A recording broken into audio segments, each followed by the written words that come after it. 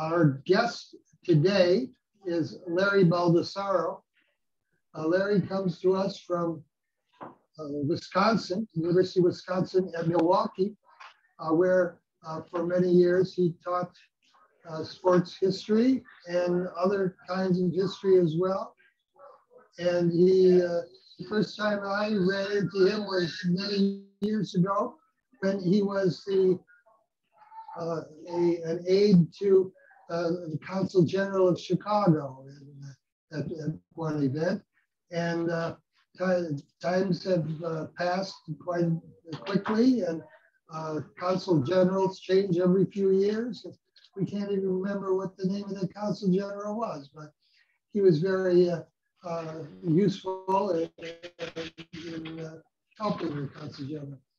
Um, Larry has written uh, a dozen books that uh, impinge on Italian American uh, Italian Americans in sports, and um, he's famous in my mind for uh, quoting uh, a headline from the 1920s uh, sports pages talking about walloping wops on the, I guess, on the Yankees.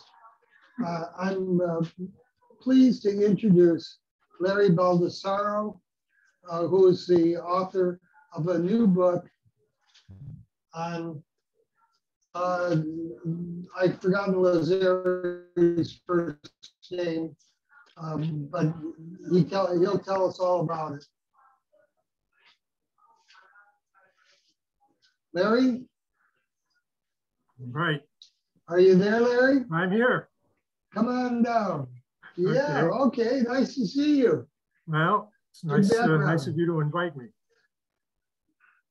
Okay, so tell us a little bit about yourself and your career in the Italian American field and uh, your Italian bona fides. Well, I'm a grandson of four Italian immigrants. My mother was born in Italy, came over when she was four. Um, I didn't grow up in an Italian community. I was from a small city in Western Massachusetts, 90 miles west of Boston called Chicopee. And uh, some sports enthusiasts might recognize Chicopee, which for many, many decades, until I think about 1980, was world headquarters of A.G. Spalding Sports, which meant oh, that yeah. baseballs, gloves, golfing equipment were made uh, within three miles of my home. Um, so that's all I'll say about Chicopee. But um, yeah, I grew up in Western Mass, went to college in Schenectady, New York, and then graduate school at Indiana University, and uh, got a PhD in Italian, which I wasn't initially planning to do. I was an uh, English major as an undergraduate, and even went to IU as a graduate student in English, thinking I'd be a professor of English.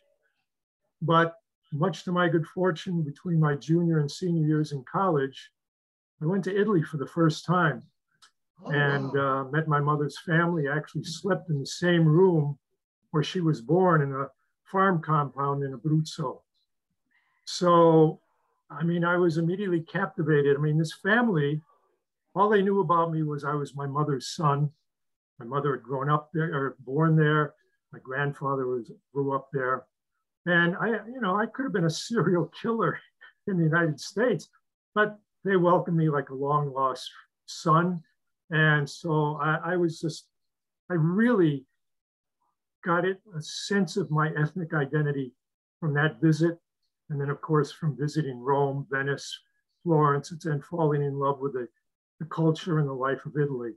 So when I went to graduate school, I uh, was very fortunate to go to Indiana that had a PhD program in Italian. And so I spoke to the head of the Italian program, Mark Musa, who's a distinguished Dante scholar, and told him maybe I could minor in Italian.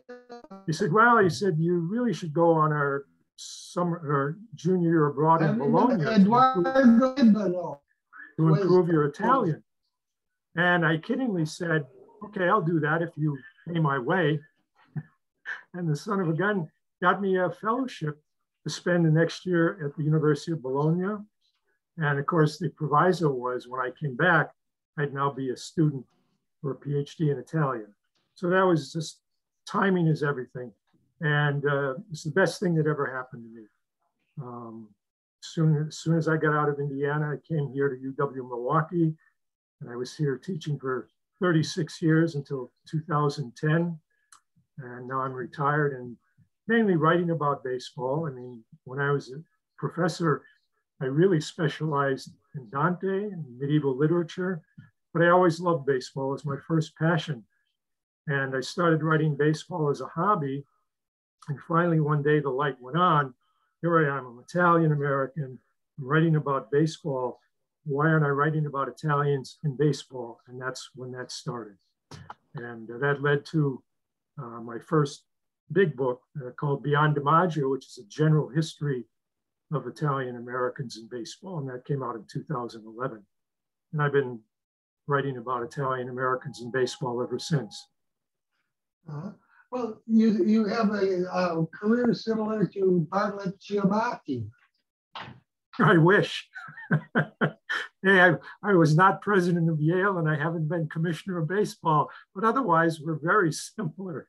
You went from Dante to baseball. Yeah, and he was he was sort of a role model for me. I mean, I only met him once, but uh, yeah, just a, an amazing figure. And he probably would have been the best baseball commissioner uh, had he lived beyond one year after becoming commissioner. That was a real loss. Uh, yeah. Uh, uh, so we have your uh, career there. Um, what about um, your uh, the, your famous quote about the walloping wops? Uh, what's the, the full quote and where did it come from and who did it who did it apply to and all that? Well, I, my guess is it applied to a lot of people, but um, I, since I wrote a book about Tony Lazzeri, I'm going to talk about that. Um, when Lazzeri was a rookie in 1926 at the Yankees spring training camp, and he hit his first home run, there was a headline in Sporting News calling him the Walloping Wop. And um, that nickname stuck with him more or less throughout his career. And a lot of other more denigrating Italian uh, nicknames were applied to him. He's routinely referred to as a Dago and a Wop. Um, let, me, let me pose the question this way. For Italian Americans in 2021, why should you be interested in an Italian American ball player who played almost a century ago? Um, and the answer to that is if he had just been a ball player, I wouldn't have written a book about him. It takes too much work. But there's so much more about Tony Lazzeri than being a Hall of Fame baseball player. And the reason I wrote this book, until I started doing that research on Beyond DiMaggio, I didn't know much about Tony Lazzeri. I mean, I knew he was a Yankee. I knew he was in the Hall of Fame. I knew he played in the 20s and 30s. But um, he became a forgotten figure. But then I hmm. discovered, doing that research, that Tony Lazzeri was one of the most celebrated sports figures of the 1920s and 30s, one of the most celebrated athletes in America. Um, he was one of the, the third most uh, powerful hitter on that famed Murderers Row lineup of the Yankees featuring Babe Ruth and Lou Gehrig, two iconic players. Um, and he was. Larry, what was his background? What was his family background? Where did he grow up? What did his father do? Well, he, um, his parents were immigrants who came to or went to San Francisco. Uh, and nine months later, Lazzeri was born, December 6, 1903 and he grew up in the Potrero district of San Francisco, which apparently was a pretty tough neighborhood. Because Lazzeri told a sports writer years later, he said, it wasn't a neighborhood where you were likely to grow up a sissy because it was either fight or get licked, and I never got licked. And he even became uh, uh, an amateur boxer. He contemplated becoming a professional fighter, but ultimately he turned his his skill and passion to baseball. But even as a youngster, he was a very skilled athlete. Joe Cronin, a fellow San Franciscan who went on to become a Hall of Fame ball player like Tony, was only two years younger than Lazzeri, but he said he idolized him.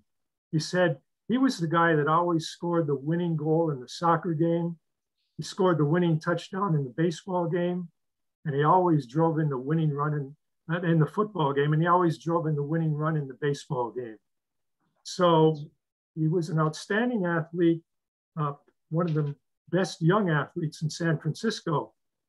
And he played sandlot ball and then he played semi professional ball. And it was uh, 1921 when he was playing semi pro ball that he was signed by the, the Salt Lake City Bees of the Pacific Coast League, which was at that time one of three minor leagues in the country which had a double A ranking, which at that time was the highest level of the minor leagues.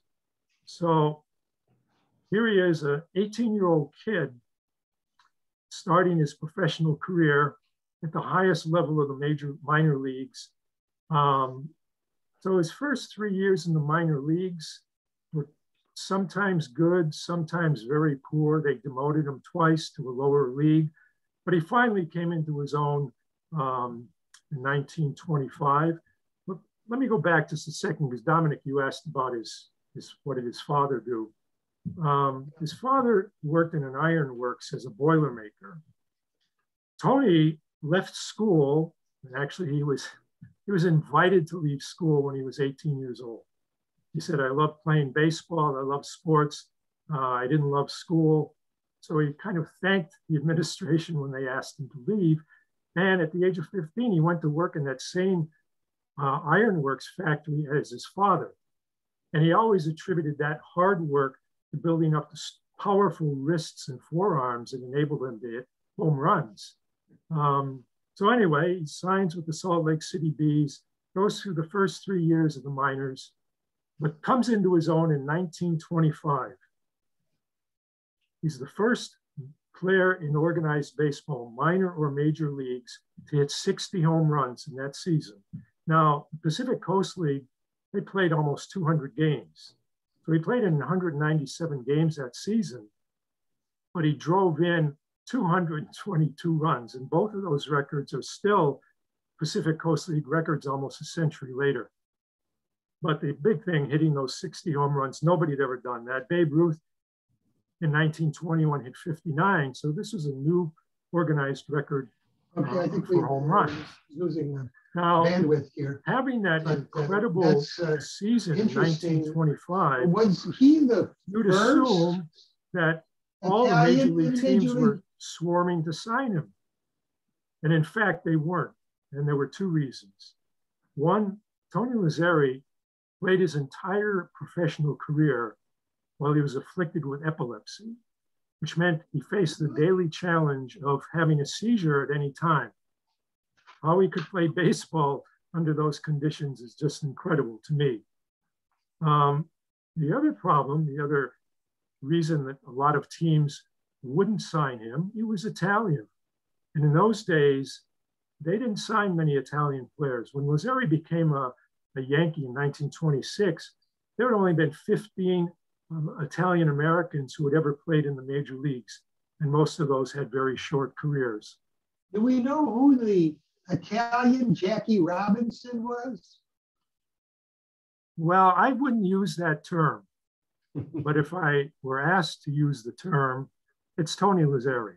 I mean, and we'll get to this, but he, I mean, he he was a major leaguer 10 years before Joe DiMaggio, right? Joe DiMaggio, who was you know, the iconic figure for Italian Americans. But the, the first line of my preface reads, before there was Joe DiMaggio, there was Tony Lazzeri. And so he set the standard for everybody to come after him. Um, so, you know, again, teams weren't ready to sign him because part of it was Italian. There's um, one line here I want to read. Leigh Montville, who wrote a biography of Babe Ruth, wrote, other teams stayed away because Lazzeri was Italian, a minority not in favor with white old line managers of the game. So he had two strikes against him. He's an epileptic and he was Italian. Well, even the Yankees were skeptical because of the epilepsy primarily. But Ed Barrow, the general manager, pursued it. He sent three scouts to check Lazzeri out in that season in Salt Lake City. And one of them went to San Francisco to check on his family background and the epilepsy, et cetera, et cetera. And one of those scouts told Barrow, he says, I don't care what he's got, sign him. He's the greatest thing I've ever seen.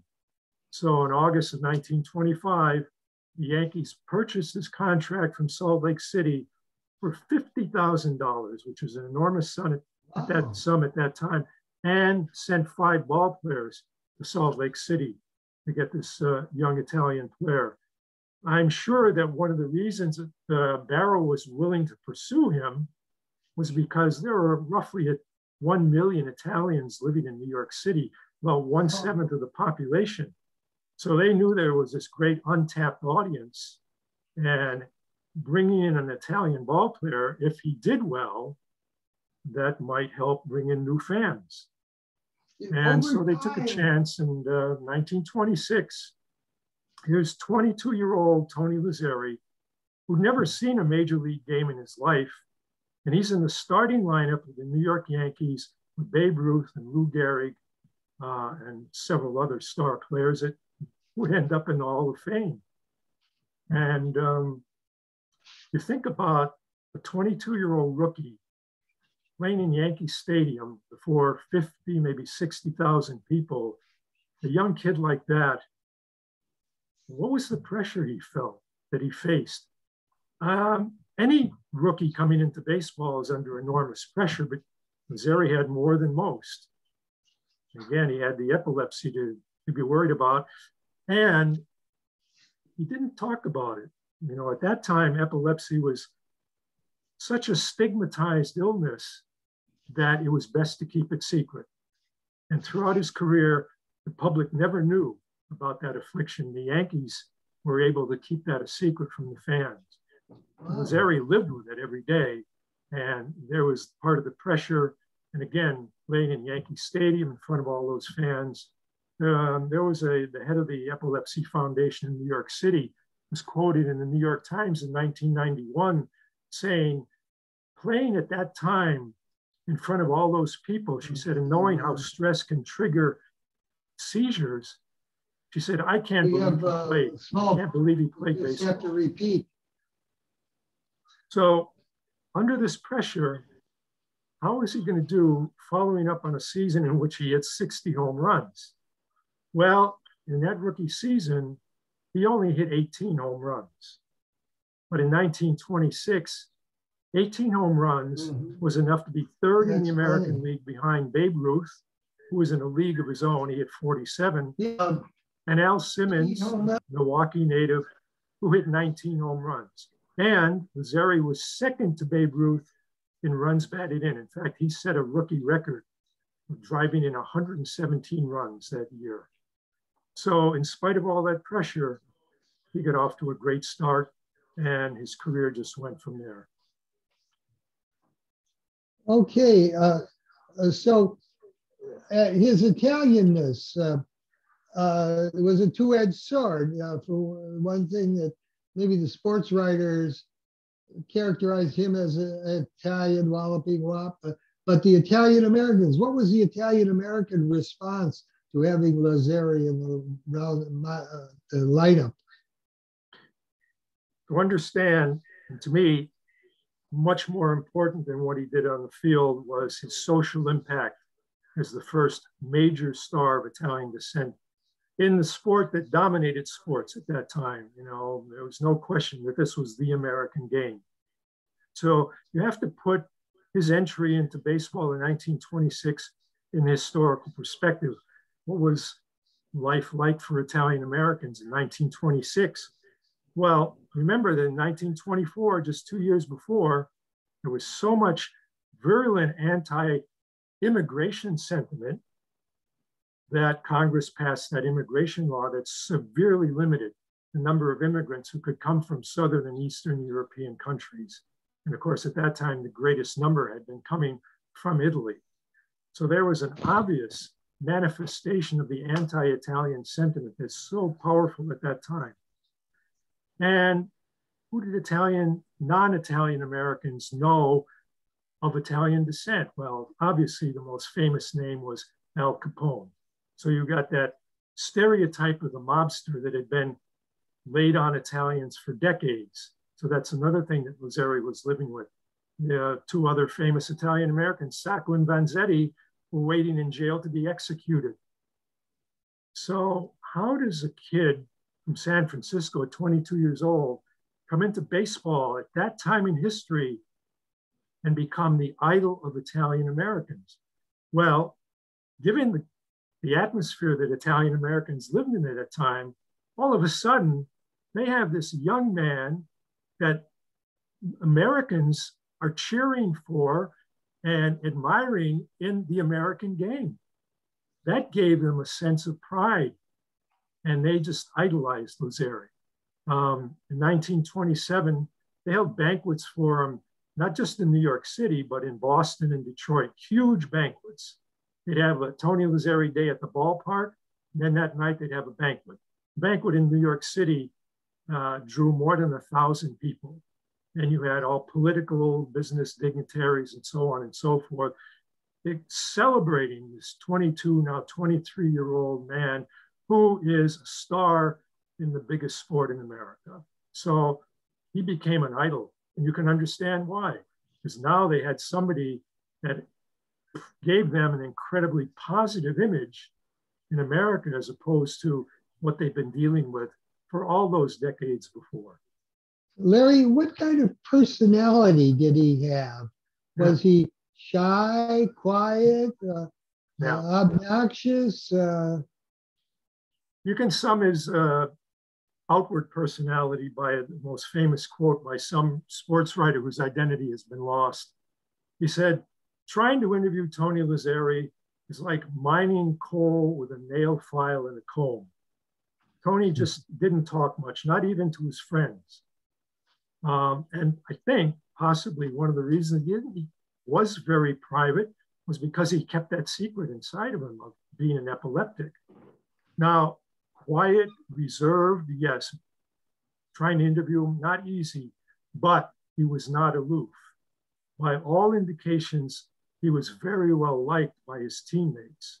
Now, you got to again put this in historical perspective. 1926, if you're a rookie in baseball, the, the people on the team are not likely to welcome you, welcome you with open arms. You know, as a rookie, you were to be seen, not heard. You would do chores for the veterans, etc. And if this rookie was coming in and he played the position you were playing as a veteran, he's there to steal your job. You're not going to do anything to help him. So, given that atmosphere, the reception that Lazzeri got as a 22 year old kid from his teammates is astounding. Not only was he well liked, he was greatly respected to the extent that he was recognized by his teammates and by the press as the on field leader of the Yankee team that had Babe Ruth and Lou Gehrig. How do you explain that for a 22 year old rookie who didn't speak much? Well, there, was clearly something about him um, that was appealing. Um, Paul Gallico, who was one of the famous sports writers of the 20s and an Italian American, said that there was something. Uh, let me pull that up if I can quickly because.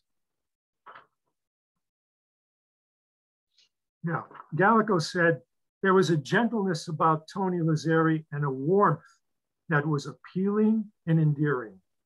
And clearly that was true. If he could win over those teammates as a rookie and have the respect that he was the de facto captain of that team, which next year in the 1927 team, the same team basically is still considered by many the greatest team of all time in baseball, Murderers Row lineup.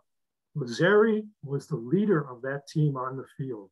Frank Crosetti who joined the Yankees in 1932, also from San Francisco, he said Lazzeri was not only a great player, he was a great man. He said he was like a manager on the field. So when you put all those things together, um, you know, mm-hmm. hero of Italian Americans. Uh, so, did he Italian, and what uh, what part of Italy was his uh, family from? And, and uh, was that uh, a part of his popularity with the Italians? No, I don't think I don't think New York Italians knew much about his family. They weren't Southern Italians like the vast majority of immigrants were at that time. Um, his mother was from a town uh, just outside of Genoa, and his father was from a small town in the Massa Carrara area of Tuscany. So there were Northern Italians. Um, was a um, California Italian.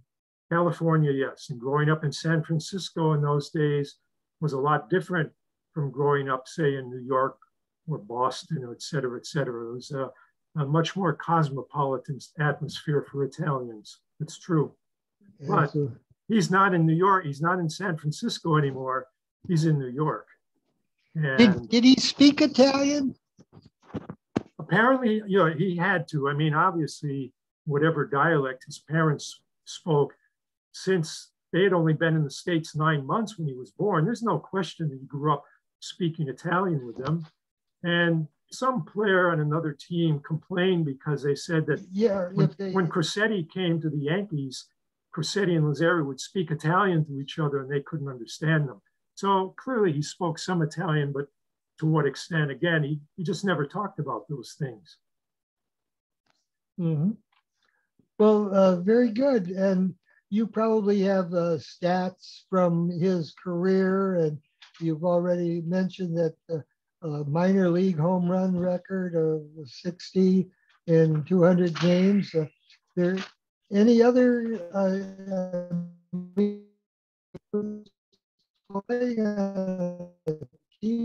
with uh, all your uh, Hall of Fame, uh, it was pretty hard to distinguish himself among those high achievers. Um, as I said, he had that great rookie year. He got better the next couple of years. His best all around year was 1929 when he set career records in most of his offensive categories. He was so good at that point after his first four years in the majors that one writer said, if he continues on this track, he'll be remembered as one of the all time greats with Ty Cobb, Honus Wagner, uh, Babe Ruth. That's how mm-hmm. good he was. Now, he was a second baseman. So there was a, quality about Lazzeri. He was a pioneer. That's why the part of the subtitle of my book is a baseball pioneer.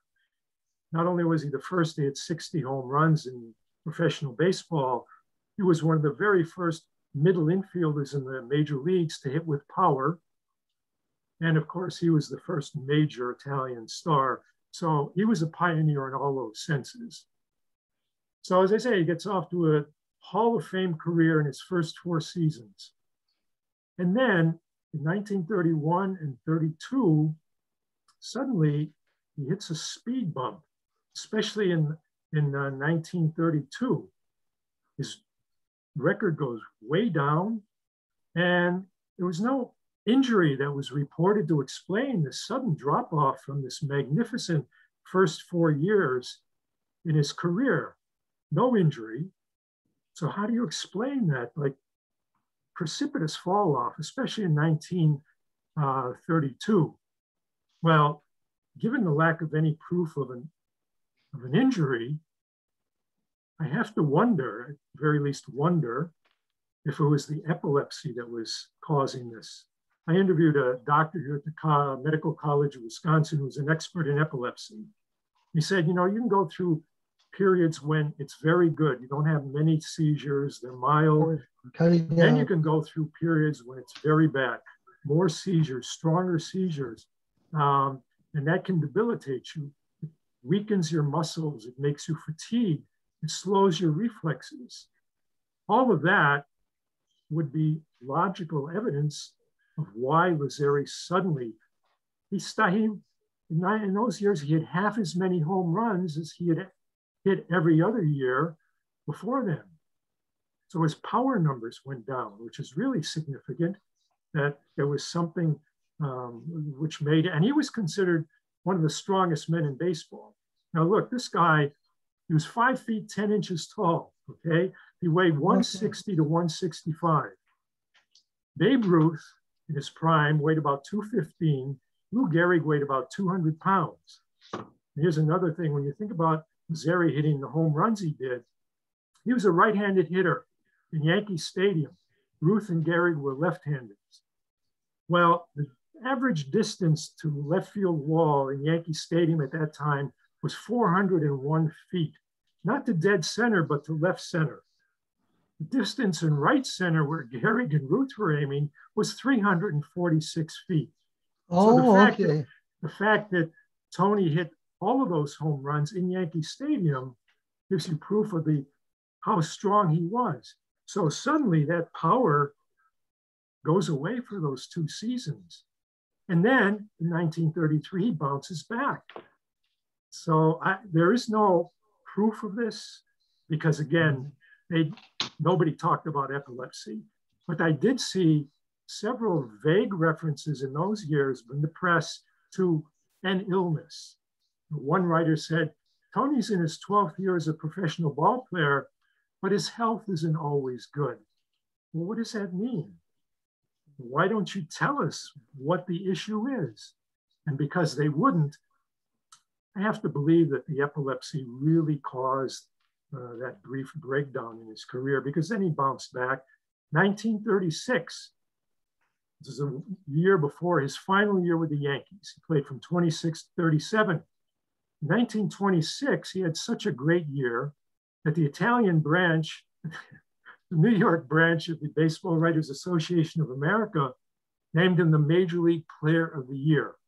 And in that season, 1936, on May 24th in Philadelphia, Tony Lazzeri became the first player in Major League history to hit two grand slams in the same game.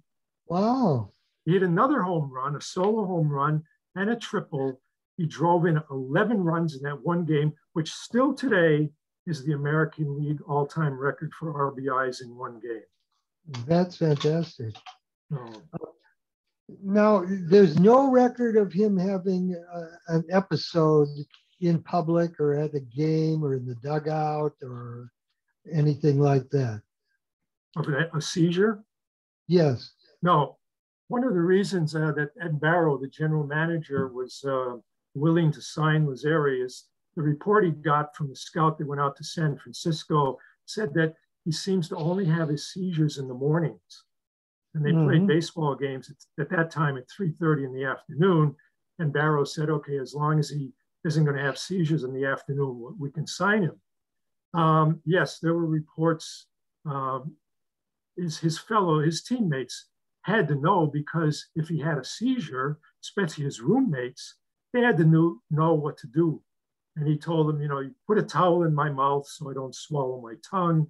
Um, he'd be lying down and it lasts about four or five minutes. But these were grand mal seizures. They were pretty bad. And I must have come across five or six descriptions um, with roommates or on a train where he, he would ride with one player who specifically would take care of him if he did have one. And I think the general manager did talk about uh, one seizure in the locker room, but never, never on the ball field, never during a game. Mm-hmm. It's very interesting. Uh, so uh, finally, uh, uh, what, uh, what about his retirement? what, how, what's the story on that? It's 1937, you say? Well, 37 was his last year with the Yankees, and that was the low point of his career in terms of his productivity. But in 38, he was signed by the Dodgers mm-hmm. as a, uh, well, he was signed uh, by, I'm sorry, 1938 was signed by the Chicago Cubs as a player coach. So he spent the whole 38 season with the Cubs. Um, didn't get to play too much. And then in uh, 39, he was signed by the Dodgers to play uh, in the infield and he was let go after about two months and then signed by the Giants in the same capacity. And he was let go again, I think in June. But then he was hired to manage uh, the Montreal team uh, in the minor leagues, in the International League. And uh, I'm sorry, the, Toronto, the Toronto Blue Jays team in the uh, International League. So he, the rest of the 39 season and all of the 40 season he was managing in Toronto. Um, and then he played one season back in the Pacific Coast League with his hometown San Francisco Seals. And that was very common in those days. A lot of major leaguers who went east to play in big leagues, who came from San Francisco, would come back after they left the big leagues and play for one, two, three years in the Pacific Coast League. And, and Tony did that. And then uh, he ended up managing two more years in the minor leagues. And uh, his uh, in uniform career came to an end in 1943. And then so he's uh, living in San Francisco. He had a wife and a child.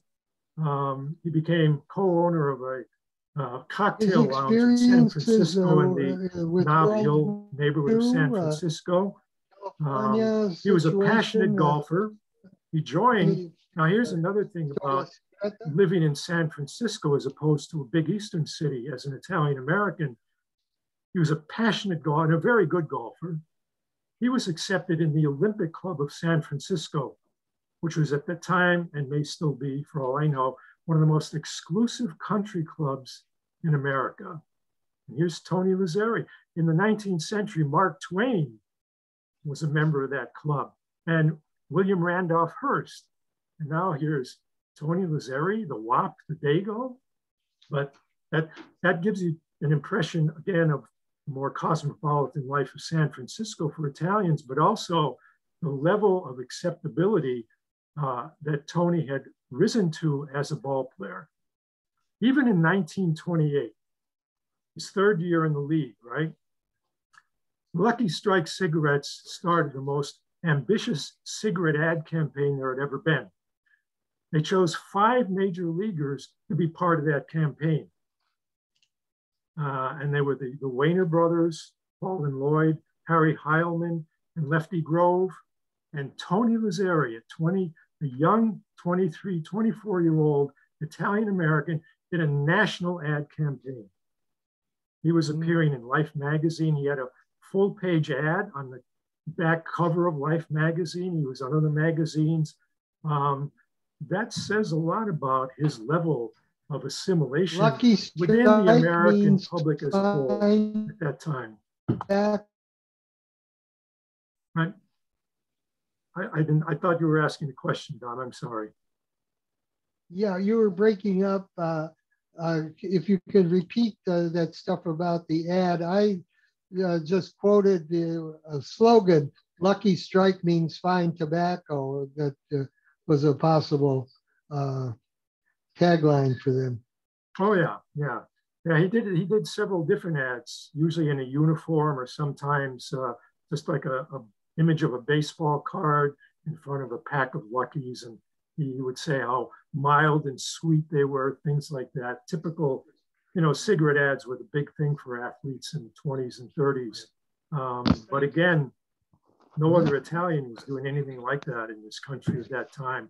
I think I think you can make a strong argument that both as the hero of Italian Americans at that time, he brought in for the first time uh, just what I think Ed Barrow was hoping for. He created an entirely new fan base of Italian Americans. Italian Im- immigrants, the vast majority of them were at best indifferent to baseball and often opposed to it because they didn't want their kids playing ball either they wanted them to go on and get an education or go to work and bring in money for the family. But baseball, I remember one guy who played in the 30s told me when he told his father he wanted to be a professional yeah, that's the says, truism. You're going to become a bum because they just they had no they didn't understand the game. The only sport they brought from Italy was bocce. So all of a sudden, again, this young man comes along, and with all these Americans admiring and cheering for him, the Italians started flocking, not just to Yankee Stadium, but to any ballpark in America where the Yankees played. Um, they, he created this entirely new fan base, not Joe DiMaggio. Again, DiMaggio is such an iconic figure that even a lot of historians have written Joe DiMaggio brought Italians to the ballpark. Of course he did. But 10 years after Lazzeri first drew them in, And mm. because he was so admired, because he had this strong work ethic, because he was a leader, even as a 22 year old rookie, and because he had great modesty as a great star, I believe he changed the way that a lot of Americans viewed Italian Americans at that time. It's possible that Lazzeri did more than anyone before him to enhance the public perception of Italian Americans. Can you prove that? Absolutely not. But I think a case can be made for it. Uh, what about his uh, family life? Was he mature? I, I'm sorry, it's breaking up and I couldn't get the whole question. Oh, family life uh, for uh, Tony. Uh, was he uh, a family man or well, Babe Ruth yes. type or what? No, I mean, he got married actually um, when he was 19, 21, 20 years old. Um, in his second year in the uh, minor, not his first year in the minor leagues, they were going to ship him off to Peoria uh, in the Class B league because he got off to a bad start his first year. And he had met a young woman, Mary uh, Janes, uh, May Janes, in San Francisco, who was the uh, sister in law of one of his teammates as a semi pro player. And he fell in love with her. And when Salt Lake City was going to send him to Peoria, he proposed to her. He says, I'm not going to go if you don't come with me. She was just under 18 years old. So they got married and uh, she went with him to Peoria and then everywhere else after that. They had a son that was born in December 1931. Um, David, who was always known in the family as Tony Jr. And um, the sad part is uh, Tony Lazzeri died at the age of 42 in 1946. Oh, and wow. one of the many mysteries about Lazzeri's life that was hard to track down was the exact, there were misconceptions about where he grew up in San Francisco, um, got his name wrong many times.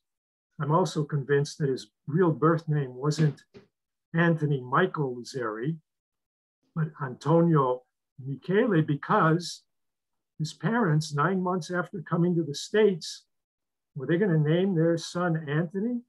The grandfather's name in Italy was Antonio, and of course, that's the tradition. You name after the, uh, the first male son after the paternal grandfather. So, course, his birth certificate is gone because of the San Francisco earthquake and fire. Even his, his son wasn't sure about his name. He thought his middle name might have been Michael. He said it, I know it started with an M. And yet, when uh, his father had to fill out a, uh, an affidavit when Lazzeri was going to Toronto to manage the minor leagues, he put his, his middle name on that application as Marco, not as Michael. So all these confusions about Lazzeri. And one of them was where he died and how he died. His wife and the son and he had moved from Millbrae, which is about 20 miles south of San Francisco. They moved back into San Francisco, uh, I think in 1940. So they were living in San Francisco when he died, no question about that. And yet some papers, when they printed the first editions of, had him dying in Millbrae in the old home. And how did he die? Well, here's a brief story for that. As I said, he was the co-owner of a uh, cocktail lounge, and he and his family had gone up uh, to Russian River, north of San Francisco, to a vacation. But Tony came home early because he he didn't just have his name on this uh, cocktail lounge; he was there to mingle with the crowd and so forth. So he had called in this morning. He had come home alone back to San Francisco, called in and told the employees he'd be there in about an hour, and he didn't show up. And they tried calling, and they tr- tried calling the next day, no answer. So they called the wife up in Russian River.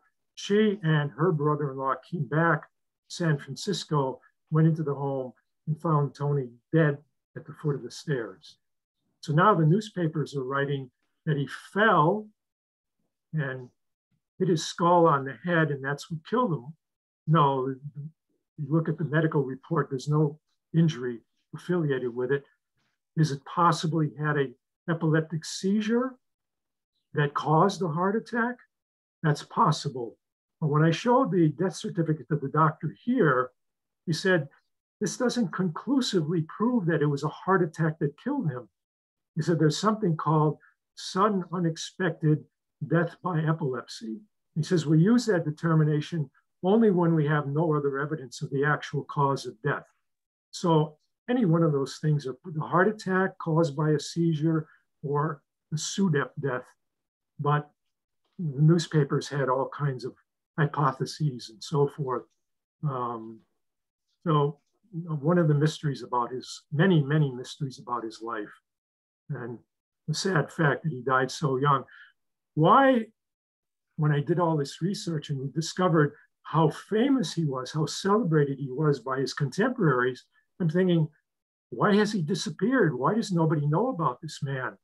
I felt like I had discovered this buried treasure of baseball history. And the truth is, as great as he was, as great as his achievements were, as time passed, those achievements were overshadowed by those of his iconic teammates, Babe Ruth, Lou Gehrig, and later Joe DiMaggio. So the fact that he died in 46 and he's been out of the public consciousness for more than seven decades, another reason why he's not really well remembered. And that's when I decided this man's story needs to be told. It's too important a story not to be chronicled and put into historical perspective. Okay, does he appear in any movies? Um, yeah, he did. He did make a, at least one that I know of. I mean, he was just a baseball player in a movie uh, about another baseball player, a fictional story. But um, I think I think that's the only one he was in. But no one ever made a movie about him. No. I'm gonna, I'm uh, my uh, signal is unstable, so I'm gonna pass it along to uh, Carla Simonini, uh, the uh, moderation. Oh, thank you so much for this fascinating presentation. I, I mean, this was so interesting, so much of Thank what you. you. talked about. Grazie. Yeah, no, grazie. Um, at this point, we usually open it up to questions. I'm sure, I know I have a few, but I'd like to open it up and see if anybody else out there has something that they'd like to ask you. So, Uh, I have a couple questions I'd like to ask Larry. okay, go ahead. Um, Larry, in your research, did you come across a, a ball player, actually um, also an Italian star from San Francisco who preceded uh, Lazzeri, named Ping Bodie? yes. Um, 'cause I, I think you could make a case for him. I mean, he didn't reach the levels of Lazzeri, but uh, he he had um, what uh, hit- hit 30 home runs i- i- in the PCL Pacific Coast League as early as 1910. It was then si- signed by the White Sox and became quite a star in Chicago. He had his own newspaper column. He had a vaudeville contract, and he eventually was traded to Philadelphia, then New York. became, uh, Babe Ruth's roommate. While we're trying to. He continued to play until 1927 in the minor leagues, where he hit uh, 347. Um, so I'm wondering if, um, you know, obviously the, the chronology there is, as I said, he probably didn't reach the the uh, levels that um, um, Tony Lazzeri did, but he certainly le- reached a level of stardom in at least in Chicago, if not New York. Oh, I, yeah, in New York too, I think. I mean, uh, Ping who Francesco Pezzolo, Yeah, his father disowned him for English. his real name, Yeah. Francesco Pezzolo. Ping Bodie, because, and this one is, I think, uh, a little spurious. Ping Bodie, because the sound the ball made coming off his bat. Well, I played baseball for many years and I've watched baseball for many more years. I've never heard a ball coming off a wooden bat sounding like a ping. Yeah. Aluminum bats, yes, but a wooden bat, eh.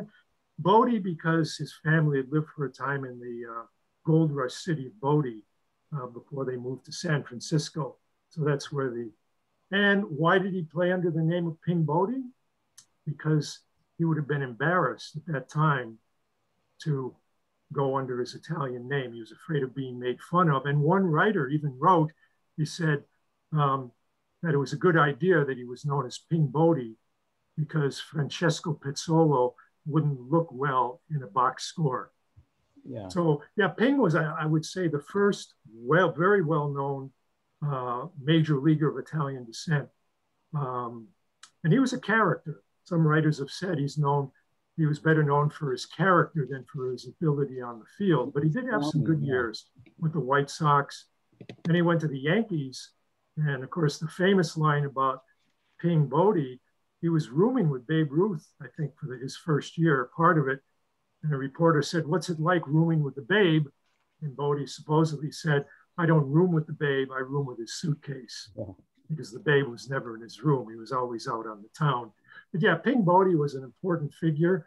Um, he clearly never reached the um, stature as a ball player uh, that would have made him a hero to uh, Italian Americans or Americans that, that Tony Lazzeri would would become. But yeah, he was a he was an important figure in uh, early Italians in baseball for sure.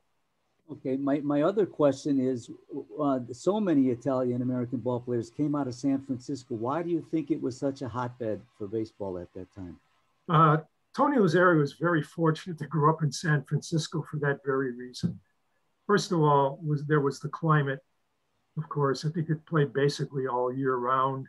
Um, um, Alexander Cartwright, who you know was attached to the Knickerbockers in New York, who some people think or thought were the first real baseball team and so forth, he moved to San Francisco for a while, and some have written that he brought baseball to San Francisco, but I've read other articles that dispute that it was there before him. In any case, for whatever reason, San Francisco became an incredible hotbed of amateur baseball. California as a whole, but primarily San Francisco. I, what all the reasons are, why there specifically, hard to say. But um, you know, if you grew up in San Francisco and were a ball player, you had so many opportunities to play all over the city.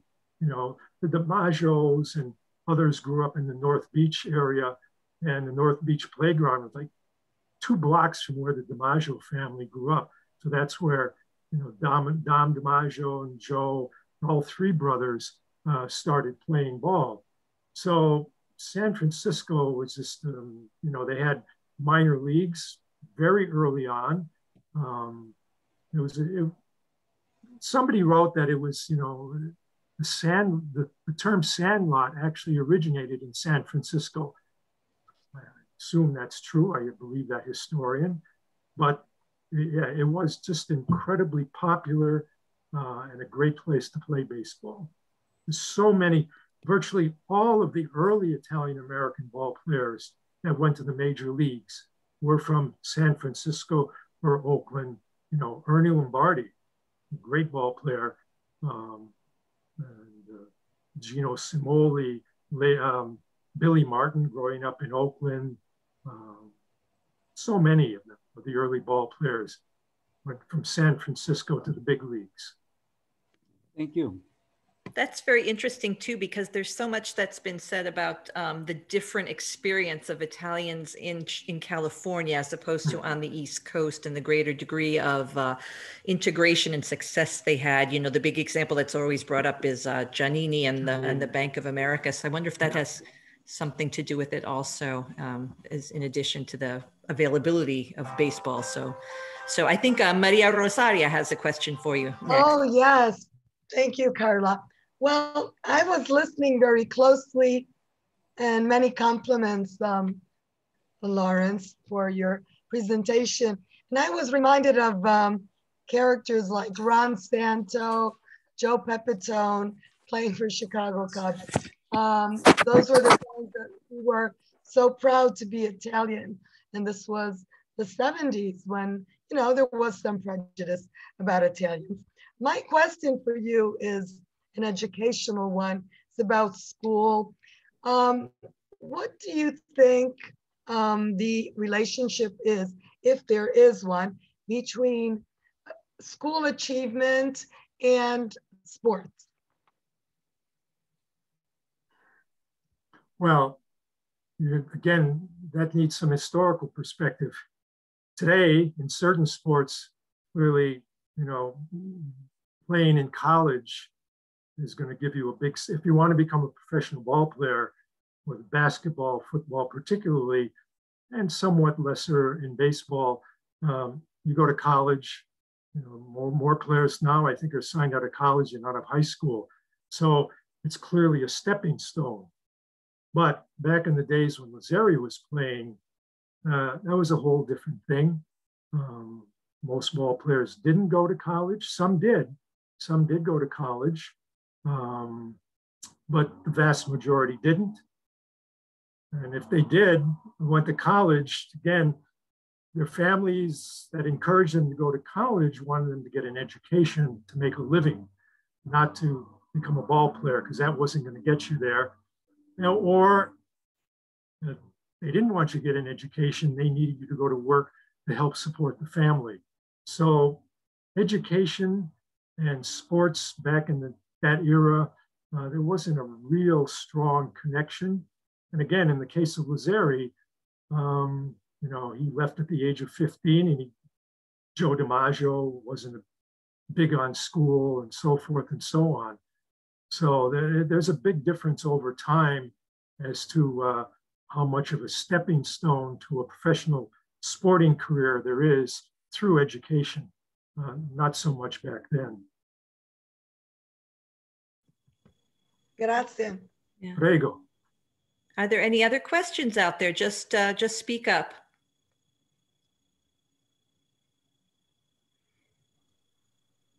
Well, if not, I'm, i have one. Yeah, I do. I do. Oh, I'm Hello? sorry. Go ahead. I'm. yeah.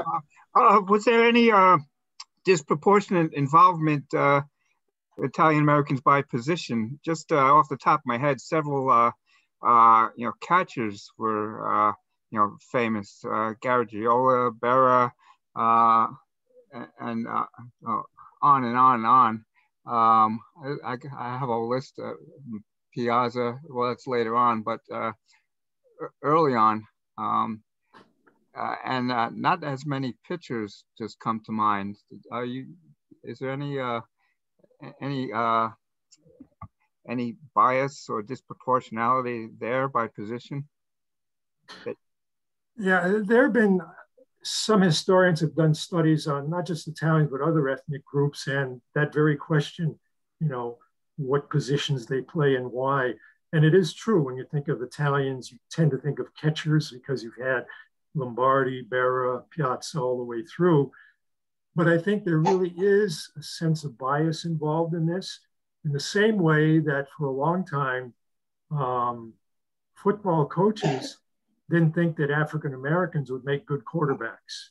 Yeah. And there the bias is obvious. I suspect there was some of that with regard to Italians as well. And if that bias was there ingrained, it seems to me that as a kid, you might be less inclined to want to become a pitcher because you figure, hey, you don't have the role models, and there seems to be, you know, coaches maybe guiding you to other positions. Again, is there specific evidence that? I doubt it, but I think uh, there's no question the element of bias plays a role in that. Um, that you know, I think I don't think there was a domination of catchers because you had infielders, you had outfielders, and you had catchers, but fewer pitchers until later on. So I, I think that was a, a big part of it, the ethnic bias. Yeah, that's exactly what I, I was thinking of. And if uh, if so, who, who would the pitchers be that began to to change that? Um, or, or were there any that um, kind of, uh, if there was a, you know, a, a barrier uh, that kind of uh, confronted that barrier? Um, being from New York, Sal Maglie got a lot of attention way back. Yes. And um, uh, I, am not aware of any others though. In the post-war period, there were there were quite a few. I mean, you had Maglie, you had Vic Raschi, who was the most important Yankee pitcher in that post-war era when they seemed to win the World Series every year.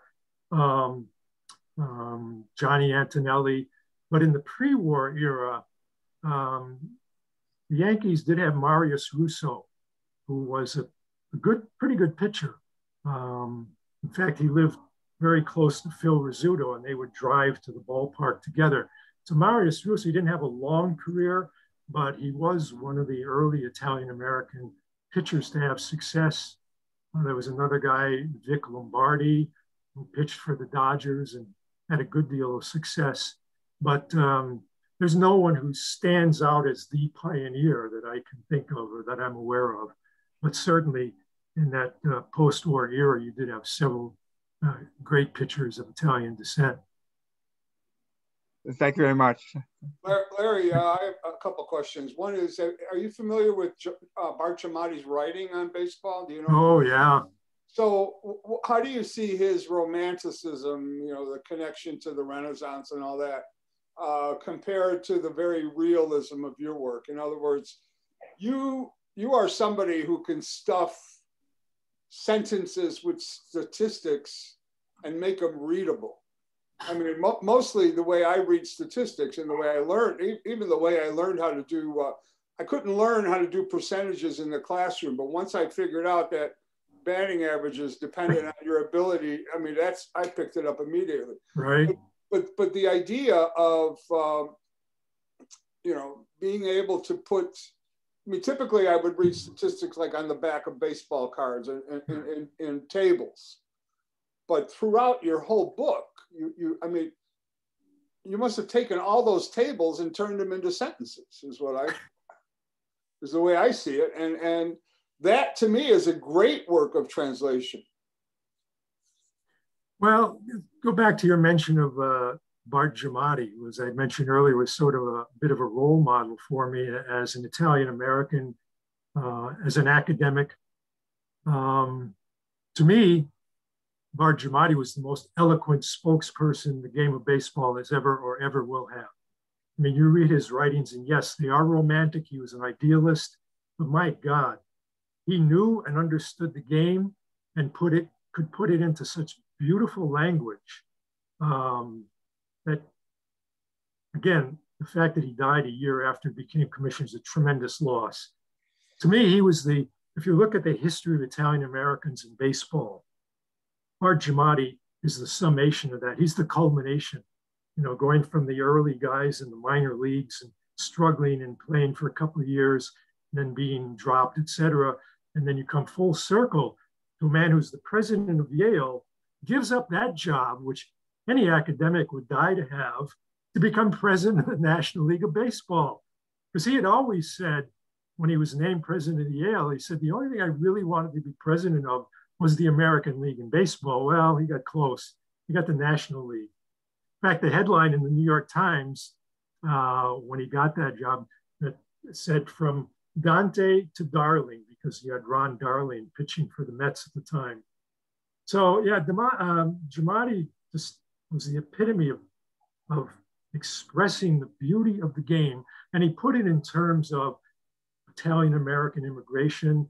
And, you know, when I taught or teach Dante, I would sneak some baseball in there because, you know, you've got the whole idea of, and Giamatti writes about this, of leaving home to try to come back home. You know, you, you leave a home hoping to find a new home. Well, Dante's writing about leaving home and trying to get back to your place of origin, et cetera, et cetera. The numbers three, the numbers nine, there's such a connection there. And Giamatti had that in his writing about baseball and linking it to the Italian American experience, the immigrant experience, like no one ever has. So um, for you to ask me a question and you know talk about my writing in the same sentence as Bart Giamatti is you know, beyond imagination. I'm not saying you are doing that, but uh, you know, Giamatti was the epitome. No, but and, what what I'm basically saying is that your yours is this is very romantic, whereas yours is very realist. Yeah. Um, well, okay. that's because I don't have the the linguistic skill to write like Bart Giamatti. no, but I don't. I don't think. I think if you would have given Tony Lazzeri to Bart Giamatti, he would have he would have been rhapsodic about it as opposed to giving us the facts. I mean, you're a baseball writer. I mean, and that's to me that, that you know that's that's the thing. And and that leads to my next question, which is all right, you've done the overall view of Italian American, of, of baseball Italian American style. You did the uh, Beyond DiMaggio, you did the uh, ethnic uh, uh, book, and now you've done a single study of Lazzeri. You're not done. What's next? Oh, I don't know. I mean, uh, I never expected to write the book on Lazzeri until I discovered him and had some time to recover from writing Beyond DiMaggio. Uh, I don't have anything in mind. I used to think that if I were to, I cut it down to two people. It's interesting you bring this up about who would I want to write a biography of that was in baseball. Lazzeri was one and Giamatti was the other. But I realized I could never write a biography of Giamatti because I wouldn't want to go through that stuff at Yale University and you know the fight, the labor fight. I couldn't and wouldn't want to write about that.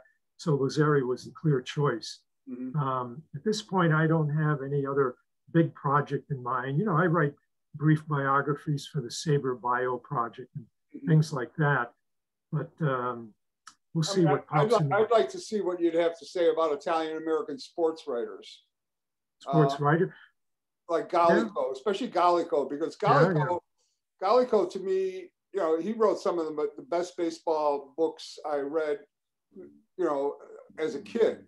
And yes. um, but he also, I mean, what you made me, what you brought attention to in your book to me was his ability to, you know, I mean, his sports writing of the era where he's using the same terminology as the other uh, uh, sports writers, and yet he's Italian American. So I wonder if he was doing that because that was expected, accepted, uh, how, how did he feel about it? I mean, I don't know. Is there a, is there a biography of Gallico? If there is, I'm not aware of it. Yeah. Uh, but there's a lot of other Italian American sports writers. I think it would be interesting to, to just to take a look. Maybe it wouldn't be a book. Maybe it'd be just an article. Perhaps. I I did a very lengthy essay on. Uh, he's not Italian, but Red Smith. Right. He's one of the great sports writers, one of the great prose writers of the 20th century for a book on uh, 20th century sports writers. Uh, and I loved it. It was fun doing, but uh, it wasn't Italian. Well, I just like reading your work. I want to make sure there's more of it in the future for me to read. Thank you.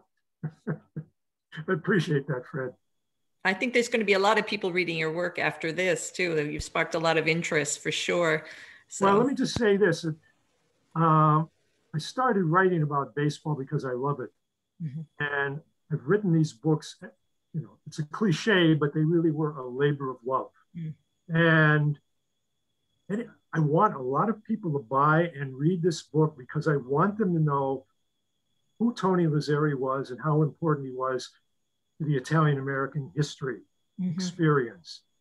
And I don't mind pushing the book because whatever royalties I earn I donate to the Jimmy Fund, which is oh, you know, I'm not a I'm I'm a Red Sox fan by birth.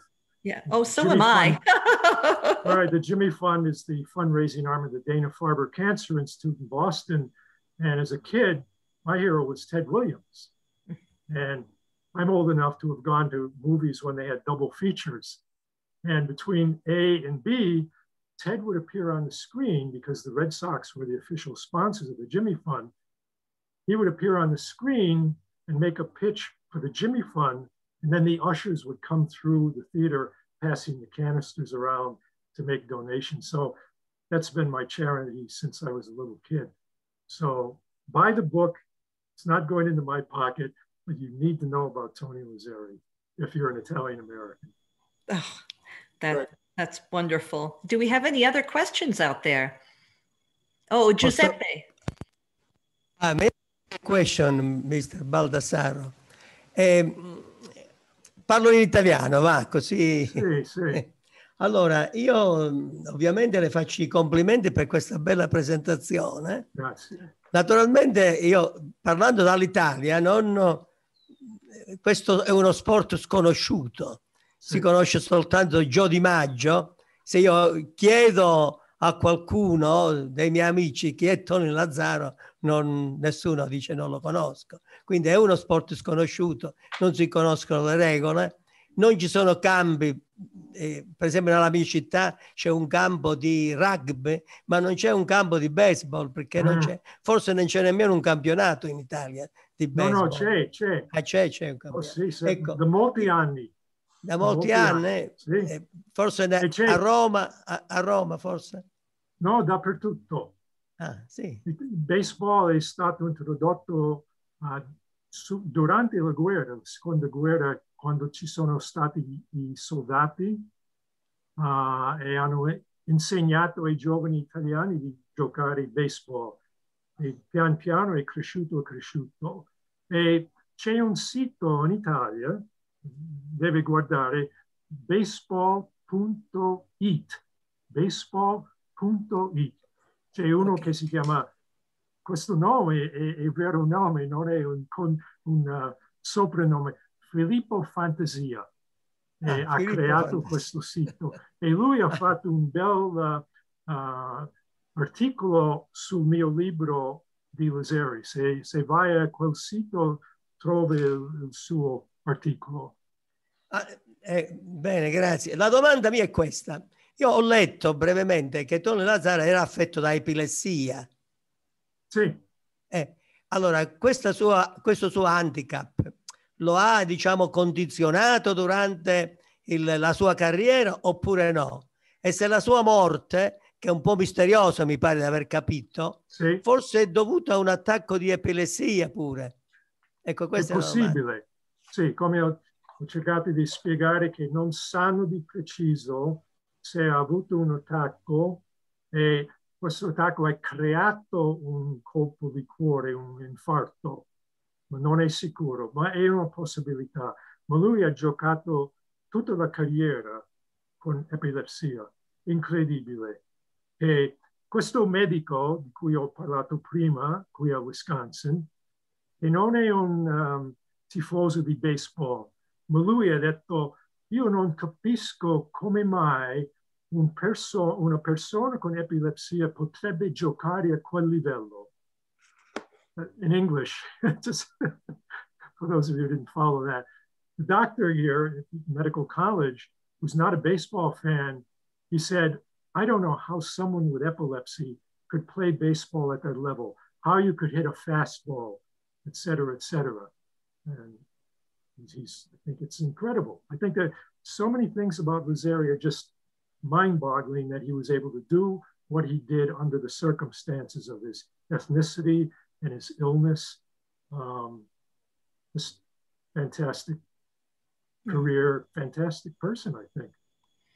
No, that Thank really you, came across in your presentation. I, I was thinking the Thank same you. thing. Yeah. So we have another question out there. I hear someone talking. Yes, no? I don't hear it. Okay, I just I didn't want to leave anyone out. So uh um, Dominic, are we are we at the end of our time here? Uh, yeah, I think it's uh, time to close.